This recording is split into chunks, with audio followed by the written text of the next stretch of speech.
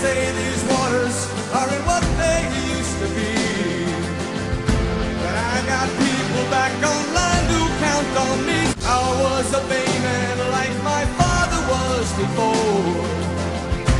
Can't make a living.